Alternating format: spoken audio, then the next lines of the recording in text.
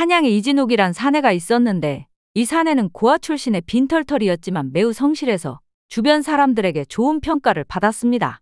그러던 어느 날 평소 사내의 성실함을 좋게 봐왔던 어느 부자가 은 천냥을 주면서 이 돈을 종잣돈으로 해서 마음껏 불려보라고 줬습니다. 갑자기 찾아온 기회에 사내는 부자에게 거듭 감사함을 표하고 나서 부푼 꿈을 안고 부산으로 갔습니다. 하지만 기대와는 달리 부산에는 마땅한 장사거리가 없었습니다. 무슨 장사를 해야 할지 사내의 고민이 깊어지던 그때 땀을 뻘뻘 흘리면서 열심히 일하고 있는 왜인 머슴이 눈에 들어왔습니다. 왜인 머슴의 인상은 매우 총명해 보였고 장사 밑천을 마련하기 위해 멀리 부산까지 와서 일하는 중이었습니다. 왜인 머슴의 사정을 알게 된 사내는 문득 자신의 성실함 하나만을 보고 투자한 부자가 떠올랐습니다. 그래서 왜인 머슴을 찾아가 동업을 제안하고 나서 부자에게 받은 은천냥을 투자금으로 내놓았습니다. 웨인 머슴은 자신을 믿고 투자한 것에 대해 감격해하며 돈을 가지고 일본으로 떠났습니다.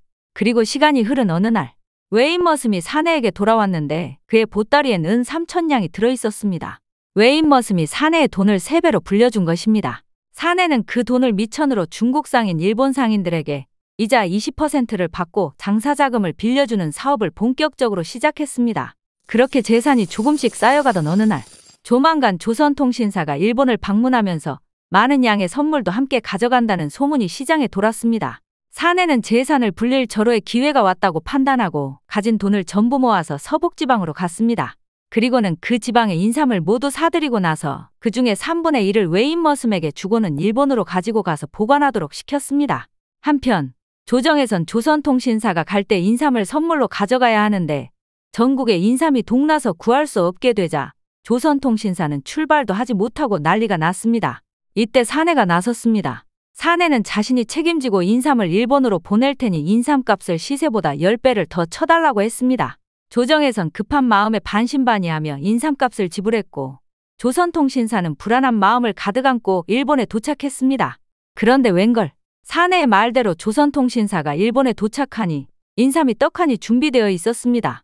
이 소식은 즉각 조정에 알려졌고 사내는 공로가 인정되어 정산품의 품계를 받았습니다. 한마디로 사내는 돈도 10배로 벌고 품계까지 받는 대박을 쳤습니다. 사내 이진욱은 종잣돈을 준 부자에게 종잣돈의 몇십 배가 되는 돈을 돌려주며 감사해했고 이후 이진욱은 평생을 행상꾼이나 약자들에게 베풀고 살다가 정의품까지 오르고 나서 사망하게 됐는데 그의 장례식장엔 이진욱에게 도움을 받은 사람들은 물론 중국과 일본 상인들까지 몰려들어 애도했다고 합니다.